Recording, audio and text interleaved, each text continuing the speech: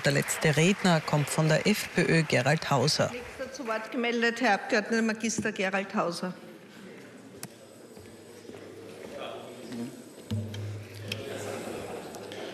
Äh, danke, Frau Präsidentin. Sehr geehrte Frau Minister, geschätzte Kolleginnen und Kollegen. Ich bedauere, dass äh, diese Debatte nicht äh, zu einem früheren Zeitpunkt stattgefunden hat und nicht live übertragen wird, weil, glauben Sie mir eines, Ihre Wortmeldungen bei der Bevölkerung wird eines erreichen, dass wir weiterhin an Wählerstimmen zulegen. Wenn man diese Debatte verfolgt und äh, mitbekommt, wie sie sich mit Hängen und Würgen gegen diesen Antrag, der, der, der ja ein normaler Antrag ist und nur erreichen möchte, dass in jenen Schulen, wo Deutsch Unterrichtssprache ist, natürlich auch in den Pausen Deutsch gesprochen wird, das ist ja vollkommen normal, bitte. Was ist denn da nicht normal? Äh, und Sie gehen, Sie gehen gegen diese Initiative vor. Wir wollen mit dieser Initiative ein Problem lösen.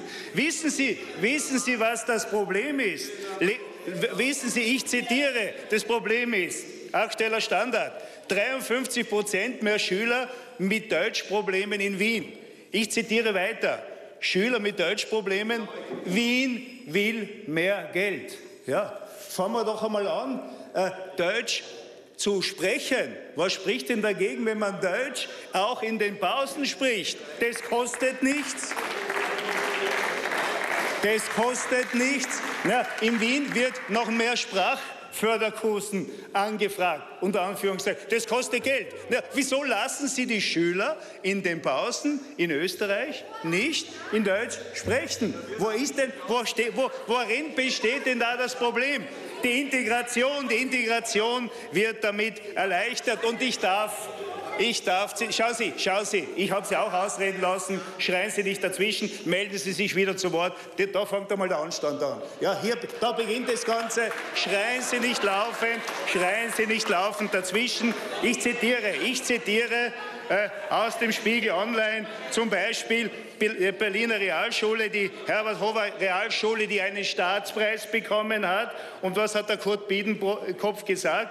Ich zitiere Schüler, Eltern und Lehrer der Herbert äh, Hoover Schule haben die identitätsstiftende Wirkung der gemeinsamen Sprache erkannt, nicht auf staatliche Regulierungen gewartet und den Begriff der Nation durch ihr pragmatisches Verhalten mit Leben gefüllt, sagt der Senatspräsident der Deutschen Nationalstiftung und der frühere sächsische Ministerpräsident Kurt Biedenkopf. Also die integrative Wirkung auch der gemeinsamen Sprache ist doch ein wesentlicher Bestandteil.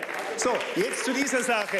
Und Herr Magister Walzer, weiß in den Mund, dass er immer so voll nehmen, ja? Auch ein Wort zu Ihnen. Es ist eine Schande für mich. Es ist eine Schande, äh, wenn man hier im Hohen Haus sich gegenseitig Sprachprobleme und Sprachschwierigkeiten vorwirft. Und Sie wissen das ganz genau. Wir sprechen immer von der Ehre des Hohen Hauses. Na, glauben Sie, ist das eine Auszeichnung, wenn wir hier eine Debatte führen und uns gegenseitig vorwerfen, dass wir nicht in der Lage sind, lesen, schreiben, rechnen zu können und aus der Sicht der Bevölkerung unglaublich viel Geld verdienen? Das ist doch blamabel, bitte, was Sie hier aufführen. Und ich sage Ihnen eines, ich sage Ihnen eines, und Sie schrecken. Und Sie schrecken auch nicht davor zurück, mich persönlich zu diskreditieren. Das haben Sie in der letzten Parlamentssitzung gemacht. Sie schrecken nicht davor zurück, obwohl zwei, zwei Wortmeldungen später sich die Kollegin Moser dafür entschuldigt hat. Sie schrecken nicht dafür zurück, gefakte Plakate, die im Netz kursieren, gegen mich oder gegen uns zu verwenden. Glauben Sie wirklich, dass ich als abgeschlossener Wirtschaftspädagoge, der auch unterrichtet hat, nicht in der Lage bin, kennen zu schreiben? Glauben Sie das? Ja? Glauben Sie das? Ja? Sie haben dieses Plakat herausgezogen. Da müsste ich sofort also meine Befähigung als Wirtschaftspädagoge zu unterrichten sofort, sofort zurücklegen. Und dass Sie uns das unterstellen, ist eine Miesmache, unterste Schublade, Herr Kollege Magister Walser, dass die Würde dieses Hauses massiv, massiv untergräbt. Und noch eines, und noch eines zu Ihnen. Es ist nicht meine Art.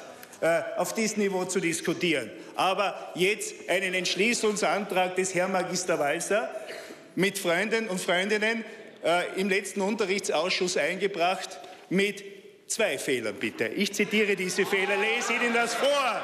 So, da, ich darf aus diesem Antrag zitieren. Aber problematische familiäre Bedingungen, Probleme in der Bildungslaufbahn, Arbeitslosigkeit, Haft und machten die jungen Männer empfänglich für Hassbotschaften und Gewalt. Also das ist einmal kein vernünftiger Satz. Geben Sie mir recht. Also der erste Fehler, der erste Fehler, Herr, Herr Professor, Herr Direktor, der erste Fehler. Ich blättere um im Entschließungsantrag, darf Ihnen den zweiten Fehler vortragen.